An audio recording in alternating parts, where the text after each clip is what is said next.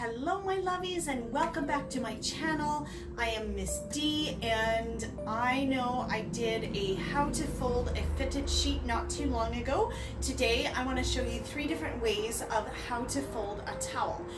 First way is going to be pretty simple and um, pretty straightforward so it's going to be you know on a difficulty scale of 1 to 5 is going to be a 1 um, and not that really any of the others are really that difficult, but they're kind of fun. And the third way is my most favorite, so I'm kind of looking forward to that. Join me, stay here with me.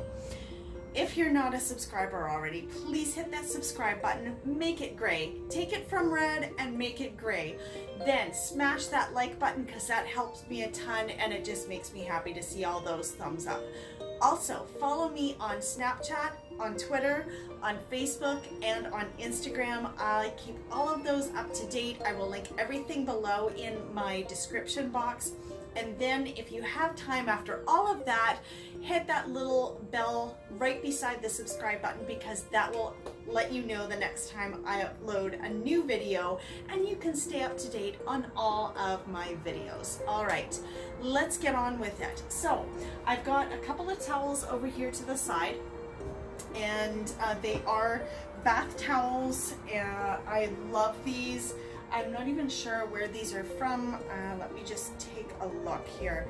They are Luxury Hotel um, by Cambridge. That's the name of the company that I purchased these from.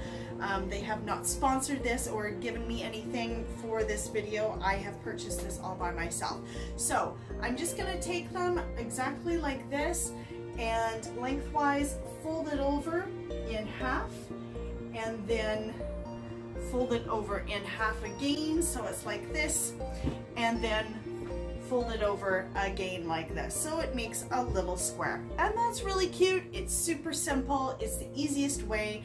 It makes it for a really nice look when it's sitting on your shelf and when you're going to grab that towel it's really easily identifiable to just grab that by the I like to actually display my towels with the clean side out so that everything looks prettier than having to look at this side. So yeah that side for me is always facing out and it just makes a much nicer look all right, the second way that I am going to fold my towel.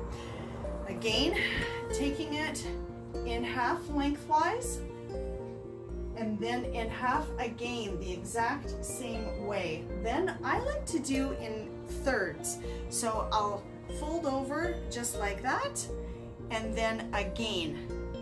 So you've got it in thirds. So you've got one level here, second level, and third. And that will look absolutely beautiful sitting on a shelving unit or wherever you store your towels. All right, so that is the second way. Now, my third and final way is, again, my most favorite way. And so I've got it lengthwise here. I'm just gonna fold it in half lengthwise and then take exactly the same and fold it again.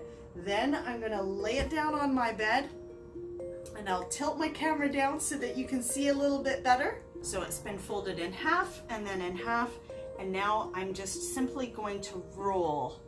And this just looks so beautiful when it is sitting on your shelf. And again, I put the, the clean side out. I don't ever like to have this kind of messy end showing.